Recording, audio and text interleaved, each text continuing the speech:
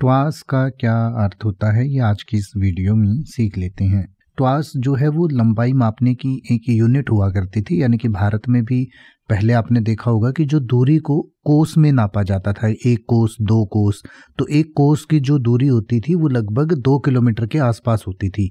तो जो दो किलोमीटर का लगभग एक एरिया या दूरी होती थी तो उसको हम एक कोस कहते थे। वैसे ही फ्रांस में जो है एक दूरी मापने की एक इकाई होती थी, जिसे ट्वास कहा जाता था, और ट्वास की स्पेलिंग होती है T O I S E ट्वास। तो ट्वास का जो है आजकल इस्तेमाल नहीं किया जाता है, ये पहले पुराने ज़माने में इसका इस्तेमाल किया जाता था, और इसकी जो दूरी है वो लगभग एक दशमलव नौ चार नौ मीटर होती थी, यानी कि एक दशमलव नौ चार नौ मीटर की जो दूरी है, या छः दशमलव तीन नौ चार फीट की जो दूरी होती है, उसको लगभग एक ट्वास कहा जाता था।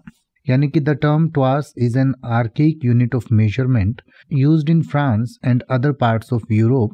It is derived from the Latin word tensum and meaning stretched ये टेंसम वर्ड से लिया गया एक वर्ड है जो यूरोप और फ्रांस में यूज़ होने वाली एक पुरानी यूनिट थी जो लंबाई नापने के लिए इस्तेमाल की जाती थी और जो ये वर्ड है ये टेंसम से लिया गया है जिसका मतलब होता है stretched the toise is primarily use to measure lengths और distances especially in construction and land surveying यानी कि लैंड सर्वे और कंस्ट्रक्शन में इस यूनिट का जो है मुख्य रूप से इस्तेमाल किया जाता था।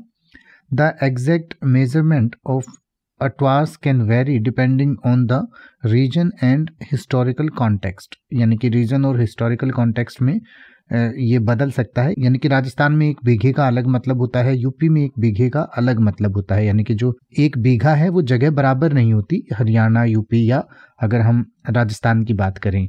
तो उसी तरीके से जो ट्वास भी है, वो एक लोकल यूनिट थी तो वो अलग अलग जगहों पर उसकी दूरी भी अलग अलग हो जाती थी।